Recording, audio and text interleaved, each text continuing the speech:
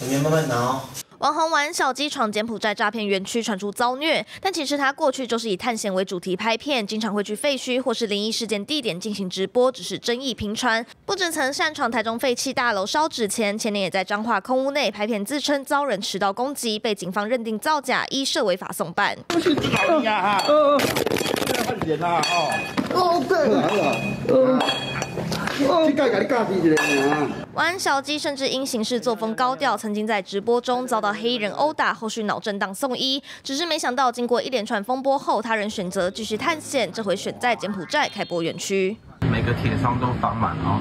国际救援组织也曾拍影片介绍凯博园区，不仅有高墙阻挡，还有玻璃渣防止随意进入或逃跑。而这个园区和金水、黄乐、金贝、绿巨人科技以及金边的兄弟环球合称七大诈骗园区，主要干部几乎都是台湾或中国人，佯装成社区或加工厂，实则进行诈骗，并设下重重门禁，控管内部人员行动。只要有人想逃，就会殴打甚至电击，宛如第三国度。柬埔寨目前的风险，它为什么会恶化？因为最近缅甸打击疯了，所以很多公司又回柬埔寨。